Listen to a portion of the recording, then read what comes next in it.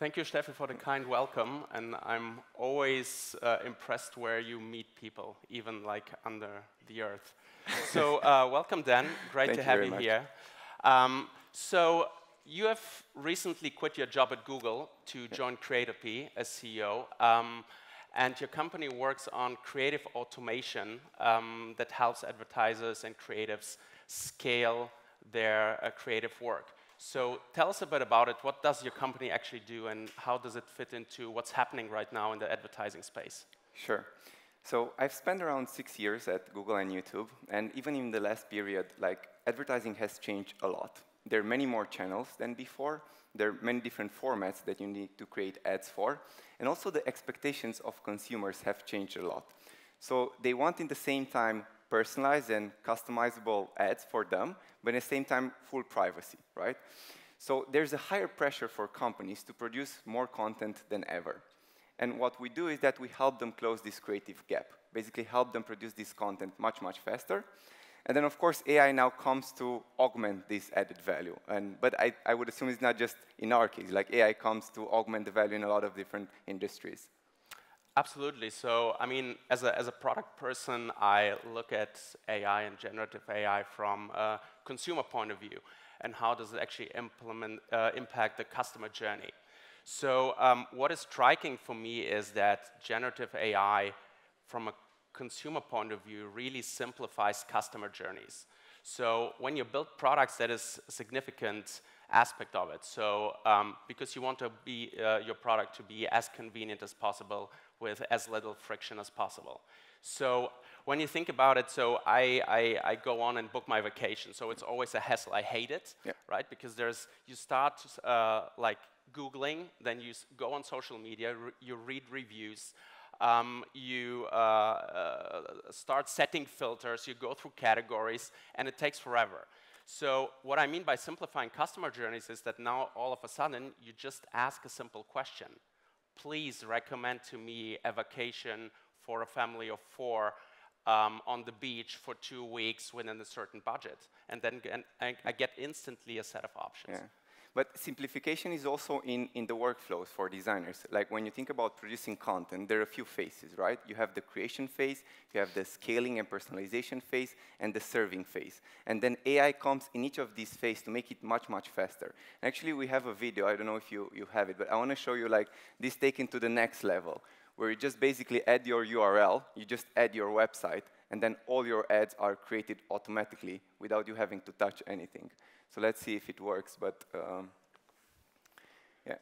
So it, it starts from, again, it starts from your URL. Let's say you want to create ads. You just click generate ad. You just add uh, um, your URL, your website. It scrolls through your website, looks at your logo, your photos, and everything is generated automatically without having to do anything. You can then animate the ads that you have on your website, like the photos. It gets animated instantly in order to make it more, much more clickable because that's what you want, people to click on those ads. And then you add AI on top of it to, to generate text ideas, copies for your ads, to, making, to make them much, much better. And then you can scale it in all over the world, like in all languages, in an instant. And all of this is being done basically in a few seconds, just taking the information that you have available on your website. And at the end, you can do the A-B testing, and then you can say, which is the right creatives that I should double down on, that I should invest more money based on the clicks and the impression that it gets.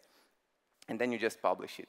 So this is, this is an example of how creative automation takes it from, from, the, from the website, and then you generate all your ads. But of course, the quality of the ads that are going to be generated here depends a lot on the data that you have on your website. And so the data is key when we're talking about this. The, that is the case, and it is the case also when you build consumer products, because um, I think that the interesting part is uh, when, you, when you want to build user experiences, you need to start at being very clear of what is the use case and the problem that you want to serve, uh, solve, obviously. And then pretty much after that, if you want to leverage the power of AI, you need to be clear on what kind of data do I need to actually solve this problem. So being very clear on use case and the required data that has to be that has to go into a, a AI system. This is the main consideration. And once you know that, you go a step further and uh, you think about like how do I actually need to build my product in a way that I collect the right data, right? Because you need to build the product a certain way to create feedback loops so that you create feedback or you get feedback from your users. And this is like th this kind of thinking that you build the product in an algorithm-centric design. And I think a great example, because that's very abstract, I think a great example of that is uh, TikTok.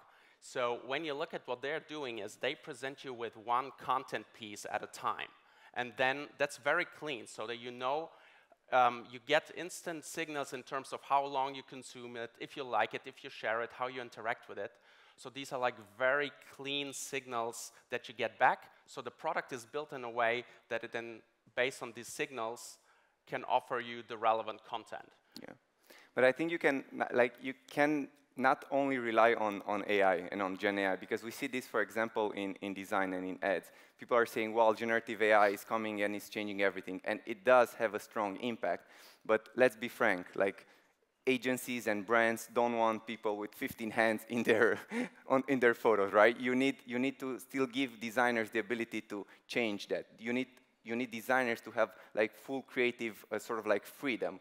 So it starts from generative AI, but what we, what, when we think about creating the ads, we use the term assisted AI because also companies want their ads to be on brands, to be customizable. It's not enough to just generate random photos. You need them to be on brand. So I think this is where it sort of gets a bit trickier, and that's why we sometimes refer to use the term like assisted AI, not generative AI, so that we don't like fully rely on, on AI.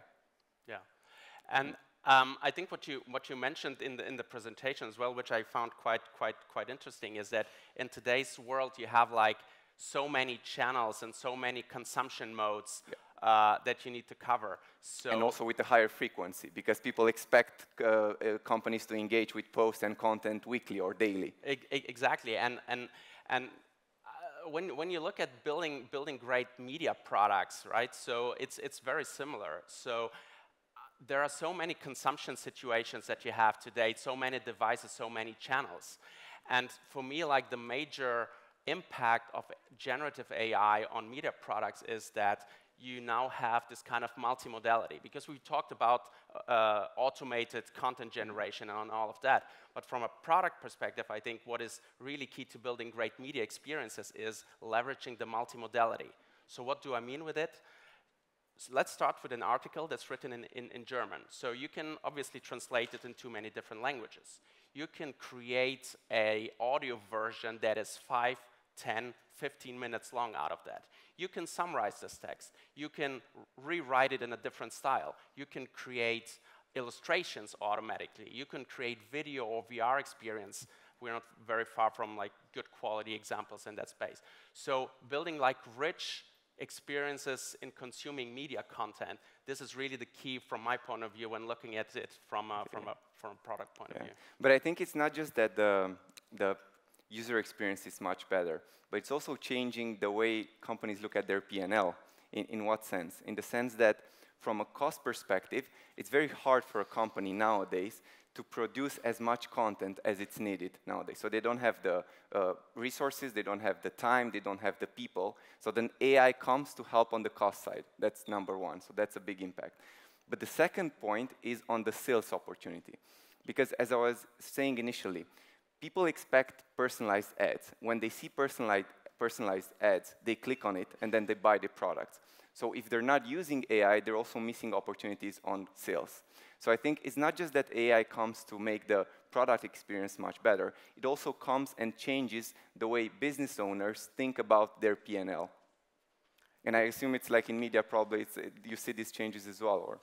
Yes, you do see them, and I think the starting point to, to understand like the dynamics behind it is you need to think about the value chain and how it changes through Gen AI and conversational interfaces. So traditionally, you need to look at distribution and access because that's where the magic happens. That's where the gatekeepers are, and that's where the money is made.